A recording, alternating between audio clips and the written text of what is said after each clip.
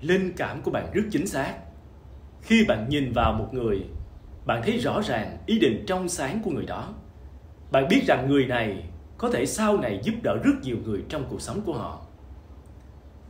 Nhìn thấy rõ ràng điều này, cho nên bạn ra sức hỗ trợ cho người đó. Ngày càng phát triển tích cực, ngày càng phát triển trong cuộc sống vật chất và trên con đường tâm linh của mình.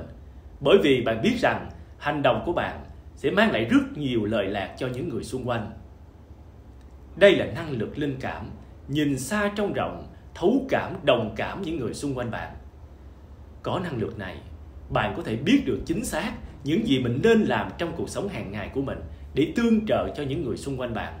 Ngoài việc trao dồi lòng từ bi, giúp đỡ tất cả mọi người vô điều kiện, bạn còn biết chính xác ai là người để bạn ra sức hỗ trợ tích cực, để hỗ trợ cho họ có thể hoàn thành mục đích thiên liêng của mình trong cuộc đời này bạn là người mang lại những điều tốt đẹp cho cuộc sống bởi tấm lòng từ bi và năng lực tâm linh bẩm sinh của bạn.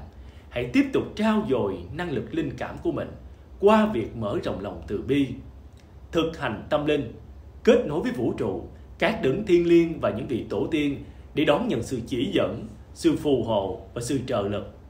Thế giới rất cần người giống như bạn quốc anh nguyện cầu vô số phước lành đến với bạn.